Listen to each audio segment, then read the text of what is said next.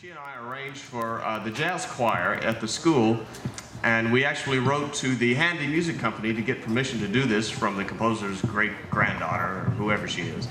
And uh, it's Minnie. Saint, Saint Minnie. Yeah, that was her name, Minnie, Minnie Handy. And uh, so this is our St. Louis Blues.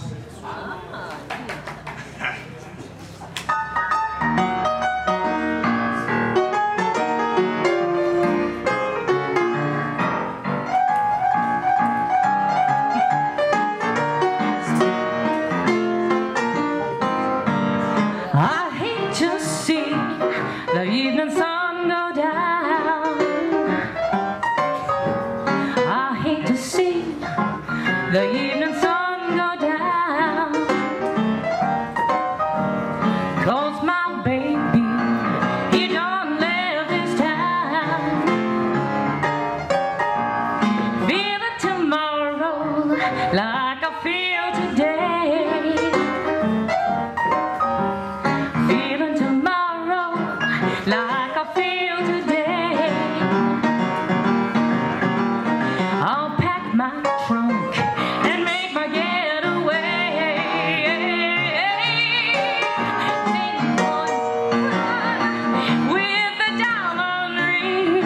wrong place.